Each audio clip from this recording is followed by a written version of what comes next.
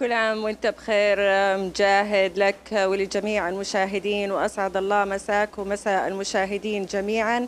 آه، مثل ما تفضلت الملتقى بعنوان تأمل الضوء وانطلق نحو الخيال وهو ما يعكس التأمل في الضوء من خلال أو كبناء للفكرة ومن خلال الصورة المرئية التي تجتمع مع الحركة والانسجام والأداء.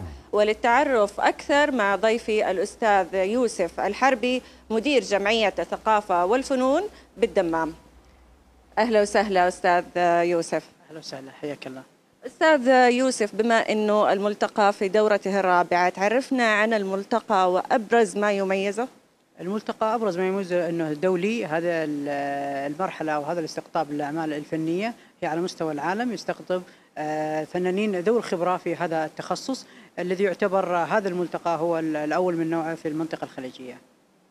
آه، أستاذ يوسف كثير آه، يعني ما يعرفوا إيش معنات فيديو آرت أو إيش أهمية فيديو آرت، تعرفنا عن مفهوم الفيديو آرت؟ الفيديو آرت بداية بدأ في نهاية الخمسينات وبداية الستينات، هذا الفيديو بدأ بالصورة المتحركة بعد ظهور التلفزيون بعد ما تطورت التقنية وتطورت البرامج والشاشات تمت التقنية باختلاف نوعي أو اختلاف جذري في عملية حتى أصبح يحمل بوتقة كاملة للفنون السبعة فبتلاقينا موجودة فيه الصورة موجودة فيه الفيديو موجود فيه ال animation موجود فيه كثير من التفاصيل وحتى الفلاتر تدخل في عملية آه، الصورة والفيديو. طيب بالنسبة للملتقى آه، أستاذ يوسف يضم العديد من ورش العمل والمحاضرات والملتقيات تكلمنا عنها؟ نعم في كل دورة إحنا نحرص على الجوانب المعرفية نحرص على الجوانب العملية أيضا في عملية الورش آه، المحاضرات والندوات آه، الحوارات الفنية مع الفنانين سواء من داخل وخارج المملكة. آه، كانت الدورات الماضية يتم فيها افتراضيا وهذا السنة إن شاء الله بيتم بعض البرامج حضوري وبعض البرامج افتراضي.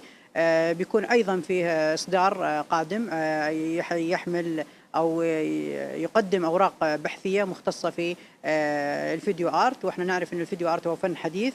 آه، هذه الحداثة في هذا الفن جعل المكتبة العربية آه، فقيرة جدا في هذا في هذه الإصدارات.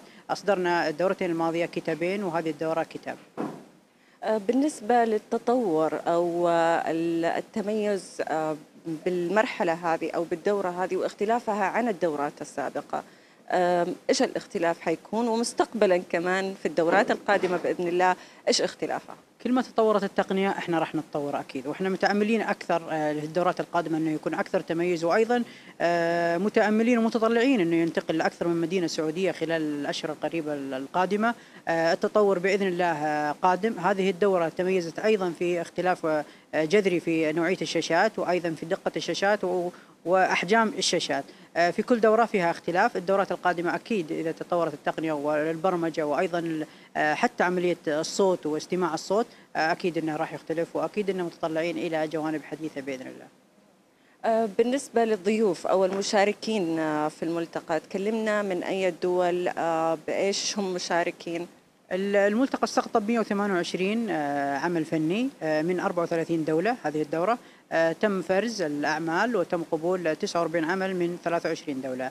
آه، جميع الدول للأمانة تشارك معنا في الدورات الماضية.